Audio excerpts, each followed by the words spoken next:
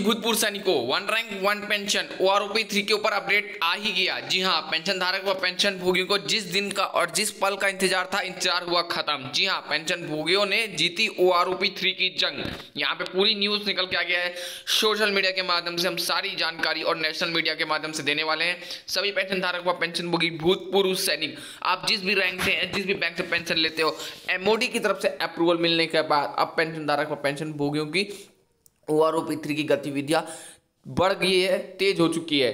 सभी पेंशन धारक व पेंशन भोगी जो O R O P three का वेट कर रहे थे कि कब होगा, कैसे होगा, कितना मिलेगा, किस रैंक को फिटमेंट फैक्टर क्या रहने वाला है मिनिमम मैक्सिमम और आप लोग का एक और डाउट है कि O R O P three आप लोग का प्री 2006 और पोस्ट 2006 को लेकर और फॉर्मूला को लेकर भी बहुत बड़ा कंफ्यूजन है, जो कि सारा कुछ हम बताएँगे, दिखाएँगे, समझाएँगे। उससे पहले अगर आपने अभी तक चैनल को सब्सक्राइब नहीं किया तो चैनल को सब्सक्राइब करके वीडियो को लाइक करें, साथ ही साथ शेयर करना ना भूलें।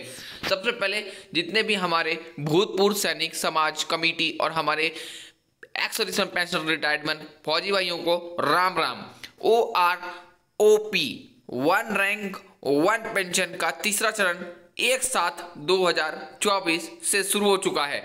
इसमें बहुत सारी इश्यूज़ के ऊपर हम बात करने वाले हैं, जैसे कि हर पाँच साल में रिवीजन होना है तो पेंशन टेबल क्या रहने वाली है गवर्नमेंट का क्या रिस्पॉन्स है, और O R O P three कब एरियर इसका डिसबर्स होगा मतलब भुगतान होगा।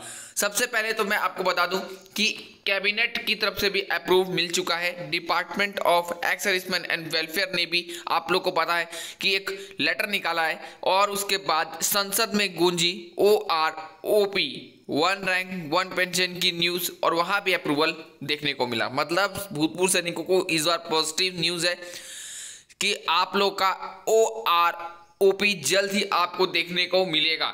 The defence minister has received approve from the union cabinet OROP 3 pension to be implemented from one July 2024 in the cabinet meeting the defence ministry discuss देख ही सकते हैं आप discuss the OROP three pension table prime minister Modi approved ये पूरी news निकल के आई है। ओआरओपी के ऊपर बता दें सुप्रीम कोर्ट ने यहाँ पे फटकार भी मारी है केंद्र सरकार को। मतलब कि उनको खिंचाई की है कि कोई भी विसंगतियाँ नहीं रहनी चाहिए, जल्द से जल्द खत्म होनी चाहिए। तो लेटेस्ट न्यूज़ थी, जय हिंद, जय भारत।